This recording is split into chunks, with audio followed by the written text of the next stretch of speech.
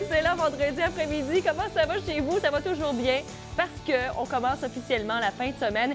Marc-André Lefebvre sera là pour ses traditionnelles suggestions de la SAQ. Mais tout d'abord, je dois vous dire que j'ai rencontré l'un de mes idoles. En fait, il fait vraiment partie du top 3, pour pas dire la première position de ceux que j'affectionne particulièrement. Si je vous dis que c'est un boxeur, c'est le champion du monde des super moyens de l'IBF, vous savez exactement de qui je veux parler. Rencontre pas très objective, je dois dire, avec mon idole Lucian Boutet. Je vous avoue, c'est un grand privilège d'être avec le champion du monde aujourd'hui, Lucian Boutet. J'ai pas beaucoup de sportifs que j'aime. J'aime pas le hockey. Je ne pas sur le golf, mais j'ai vu tous tes combats. Et, et j'avoue que c'est très ressemblant. Aujourd'hui, à la cage au sport, tu vois les gens qui sont ici. Est-ce que la popularité que tu as au Québec te surprend encore? Non, on ne surprend pas parce que ça se voit quand, quand j'ai un combat ici ou à Québec ou à Montréal, sont, les gens viennent pour me, supporter, sont 15 000, 16 000 personnes. Et ça, c'est dit que les gens euh, apprécient qu'est-ce que je fais, apprécient la performance. Puis je suis vraiment content. Je dis un gros merci à tout le monde. Euh, qui, me supportent, qui, qui, qui m'encouragent, puis aussi les, gens qui sont venus aujourd'hui euh, au Cajo Sport pour euh, nous rencontrer, toute l'équipe d'Interbox. Oui, parce que vous êtes beaucoup de boxeurs et depuis quelques années au Québec, on dirait vraiment qu'on est une pépinière de boxeurs. Il y a de jeunes boxeurs avec toi d'ailleurs aujourd'hui. Tu es rendu un modèle d'inspiration pour plusieurs d'entre nous, même si tu viens pas du Québec finalement. Oui, mais présentement, je fais partie du Québec. Euh, ça fait huit ans que j'habite au Québec. Euh, ma vie est au Québec je me sens comme un Québécois présentement.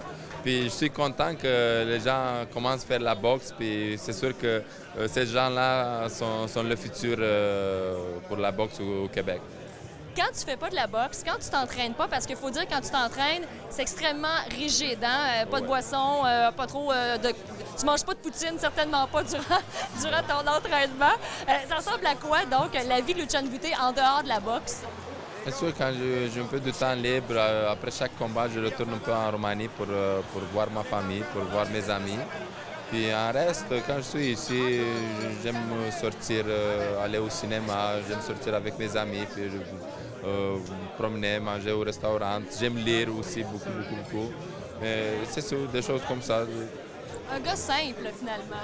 comme tout le monde, comme tout le monde. Rien, j'ai rien changé depuis quand je suis devenu champion du monde. Je suis la, même personne qu'avant.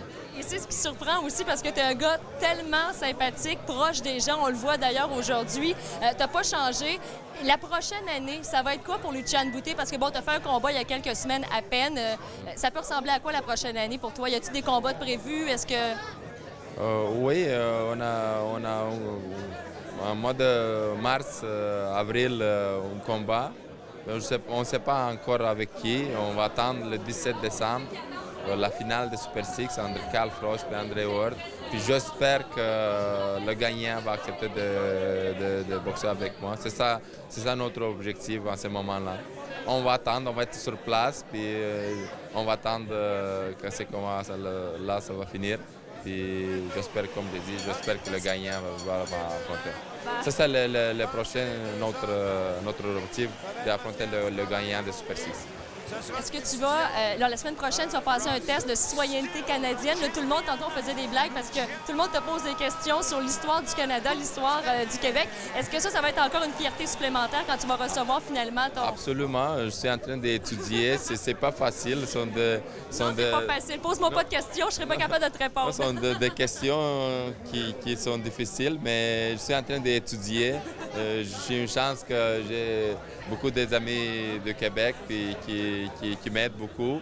Puis c'est sûr que ça va être spécial pour moi. Puis j'ai hâte d'avoir euh, le passeport canadien. Puis la citoyenneté aussi. Ben, Lucien Boutet, comment on dit merci en roumain? Merci. Merci beaucoup, beaucoup. Mulțumesc. Mulțumesc. Merci beaucoup. Merci. Le sourire fendu aux oreilles, vraiment, ça a été une belle rencontre avec l'un de mes idoles, Luciane Boutet. Bon, j'ai fait de la boxe quelques temps, donc c'est peut-être pour ça que je l'aime autant, mais vraiment un homme charismatique et c'est tellement une belle acquisition pour le Québec. Chapeau à Luciane. Maintenant, on s'en va dans les euh, suggestions de la SAQ avec le seul, l'unique Marc-André Lefebvre. Au retour de la pause, bougez pas.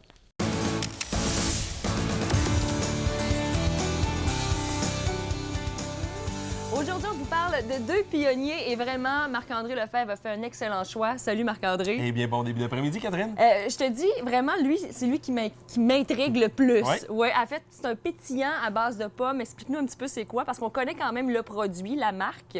Oui, exact. Donc, on parle, oui, du domaine Pinac. Un pionnier qui fait partie ici des cidreries du Québec. Donc, euh, sur le mont Pinac, à Fredericksburg, on est tout près, dans le fond de Cowansville, Donham, Fredericksburg, on est sur les limites euh, des États-Unis. On nous arrive vraiment avec euh, un domaine qui travaille avec la même variété de pommes que les autres. On parle de McIntosh, Lobo, Spartan, on parle de Empire. Regarde la couleur, ça, c'est beau. Ça, c'est un jaune or assez intense. On va, euh, si on prend le temps juste de humer tranquillement, ça nous donne des super de beaux arômes. Écoute, c'est la pomme très mûre, Oui, la pomme oui. confite. On va chercher le petit côté tarte aux pommes. Tarte. Et le petit côté calvados aussi, qui est là, tarte tatin, c'est vrai. Dans le petit côté un peu euh, pomme caramélisée. Mais comment on doit déguster ce type? On va, je vais trop vite, mais la tarte tatin, je viens de le mixer, ça serait super. Ben oui, ça. ben oui, c'est vrai. Si on prend le temps de le déguster, là, vraiment, tu as de quoi de super le fun. Écoute, donc on, on prend le temps de cueillir les pommes à la main. On va faire effectivement, on attend le premier gel. Oui. Et ensuite, on va faire euh, euh, l'extraction, donc la première presse. Et puis, on va faire fermenter effectivement le jus, euh, le jus de la pomme. Et puis, on nous arrive avec un nectar qui est sublime. Oh, mes amis, que c'est bon, ça. Oh, Mm. c'est divin. Quand on on... prend le temps de le déguster, Oui. regarde le côté crémeux qui apparaît. C'est dense, c'est une belle longueur. C'est ça génial, reste en les yeux pleins bouche. d'eau. Non, mais c'est vraiment très bon. Honnêtement, je vous avoue, c'est un beau Bon. coup de cœur. Et c'est un produit du Québec, donc évidemment, on aime ça encore un petit peu plus. Et euh, d'autant plus que c'est un produit avec pour la période des fêtes qui se donne tellement bien en cadeau. Oui, puis en plus de ça, en fin de semaine, on obtient 10% jusqu'à dimanche sur le produit. Donc, Ça y est, tous je les suis produits vendue. du Québec sont à 10% faut en profiter. Mais Marc-André, si on prend ça en apéritif, Oui, on peut le prendre, oui, à l'apéritif si on le désire. C'est sûr, ça a un côté un peu sucré. Oui. Donc, on présente des canapés un petit peu salés. Donc, euh, que ce soit euh, les terrines de foie gras, j'en ai déjà parlé, mais avec les cidres de glace, les vins de glace, les vins de dessert, toujours très bien. Donc, euh, c'est ça. Les, euh, au dessert aussi, si on le désire. Donc, tu as parlé de tarte tatin, euh, tarte aux pommes, tout simplement, ou à prendre comme ça, parce que le taux de sucre, je l'avoue, Est il assez élevé. est assez Oui, présent. oui, oui, c'est ce qui est voulu. On va chercher des sucres résiduels assez élevés dans les produits, comme ici les cidres de glace, cidres de glace pétillants. Mm. Donc, il existe d'autres produits de d'autres maisons du terroir qui nous offrent effectivement ce petit côté effervescent, toujours fort agréable. Domaine Pinacle, là. Maintenant dans un, un autre Ah. classique, mais d'un pays euh, di- différent, un petit peu plus chaud, mettons. hein, Catherine, qu'ici. j'en ai des frissons rien qu'à y penser. Ben voyons, les frissons aujourd'hui, Oui, euh, ça n'arrête pas. Ben, c'est parce que c'est deux beaux domaines. Le domaine Pinac, ben écoute, je vais à la Merci. chasse à côté du domaine, justement, puis à chaque, à chaque année, je passe au domaine. Donc, euh, j'ai de beaux souvenirs. Et ici, c'était un de mes voyages que j'ai fait, donc, euh, en Espagne. Et c'est la maison Torres, depuis que je suis à la SAQ, que je connais cette maison. Grande Coronas, Cabernet Sauvignon. On va chercher un domaine euh, qui prospère depuis 1870. Euh, cinq générations sont en arrière de ce, de ce domaine. Torres est un des pionniers, comme on disait tout à l'heure. Pourquoi? Parce que euh, sur le côté euh, de la viti- viticulture, tout le côté vinification, euh, c'est un domaine où les gens se fient parce qu'on va chercher des nouvelles techniques à chaque année, des- du nouveau travail. Puis quand, sais, souvent dans des, euh, dans des vignobles, on a pu voir effectivement des, euh, les, les- les- les cuves qui sont vraiment à, euh, à verticale, mais ici, on fait des rotations à la verticale, ce qui est à l'horizontale, excuse-moi qui donne des- un Ah, travail totalement différent. différent, puis qui, qui est vraiment efficace. Donc, 85% du produit ici, Cabernet Sauvignon, 15% de Tempranillo. Il, en, dans les années 60-70, on est arrivé et on a implanté le, le cépage français, le Cabernet Sauvignon, et on l'a associé du Tempranillo, le cépage espagnol, et ça nous donne de quoi de fun. Écoute, le côté aromatique, Oui, très, vraiment. euh, la prune, le petit côté Oui. un peu de cassis qui est fort présent, une petite note euh, d'épices, puis un petit Mm. côté sous-bois. On fait ici un Oh, c'est- 12 mois de fût de chêne, puis après ça, on va le chain l'élaborer est assez présent. en bouteille. Oui. Donc, pour ça qu'on a la mention réserva, donc un petit peu euh, un temps en vieillissement en bouteille pour le, euh, juste calmer un peu ses caractères. Puis avec Voilà. la tourtière du euh, Saguenay-Lac-Saint-Jean, est-ce que ça pourrait bien aller? Je là, je te pose une colle, hein? Non, elle est facile. Oui? Les- le- un peu trop de pâte dans, les, dans ces genres de tourtières, les pommes de Les terre. oui, c'est Et ça. même si on parle de viande sauvage, c'est le- un peu le gras qui va prendre le dessus, puis quelque part, il n'y a pas un accord On va parfait. perdre, OK. Mais c'est pas grave, c'est un vin de qualité, on en profite, on va être en bonne convivialité. Allons-y pour le Grand Cornaz, puis la tourtière du Lac-Saint-Jean, c'est pas grave.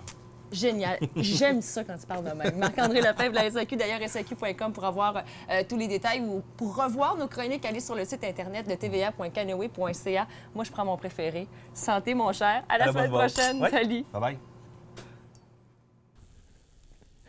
Vraiment de belles suggestions pour la période des fêtes. D'ailleurs, la semaine prochaine, encore une fois, des euh, suggestions. Et manquez pas notre dernière chronique parce que vous savez, la vie en Mauricie va faire relâche euh, du 23 décembre aller jusqu'au 4 janvier. Alors, on aura des suggestions de mousseux, de champagne. Je pense que j'ai hâte à cette chronique de la RSEQ avec Marc-André Lefebvre. Hey, passez une belle fin de semaine. Amusez-vous. Il y a le marché de Noël au Parc Champlain.